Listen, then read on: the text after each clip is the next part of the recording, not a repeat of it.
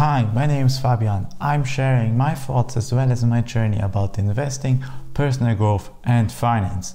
Sometimes I like to talk about random things, like in today's video about my monthly favorites. This month I have three favorites. My favorite new ice cream, a new website I'm using a lot, and my new home office. My new favorite ice cream is this boy right here from Oatly. Now Oatly means they don't use traditional milk, they use oat milk for their products which means they're 100% vegan. Now I am not vegan or vegetarian, but I was curious trying out these new products and I must say I really like them. Their frozen chocolate ice cream kind of tastes like frozen chocolate mousse. It's very soft and airy. I really love it. But before I actually tried their ice cream, I tried their milk right here. And I must say I actually enjoyed this milk, but only with cereals. Alone it's kinda still a bit weird for me, but with cereal it's actually better than normal milk. And you know, I'm an investor, so I actually invested in this company a while back. So the hot days are coming up and I encourage you when you see this ice cream in store try it. There's even a strawberry uh, version and a normal version, a nature version. I haven't tried the other two ones yet because I love this so much and every time I ask myself, do I want to try something new or do you stick to what you love? So it's the chocolate version for me for now.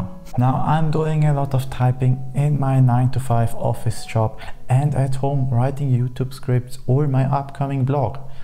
So typing is important and I think I'm already faster than the normal average person at my office but still I want to improve my typing speed.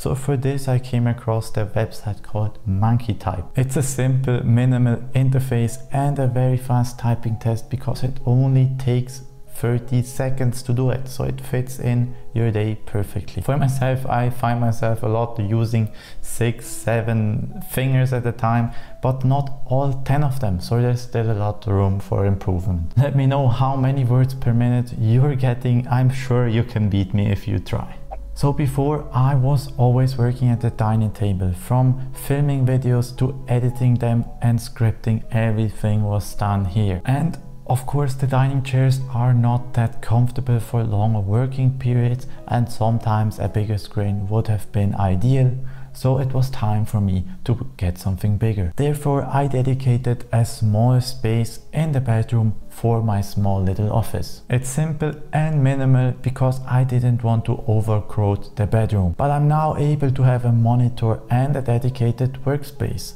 And honestly, I would be lying if I would say a dedicated workspace makes you more productive.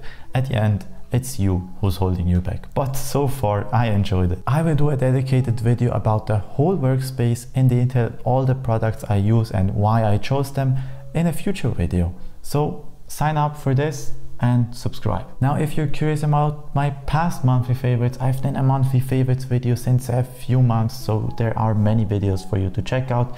Here is the last one, so I will see you there. Bye bye.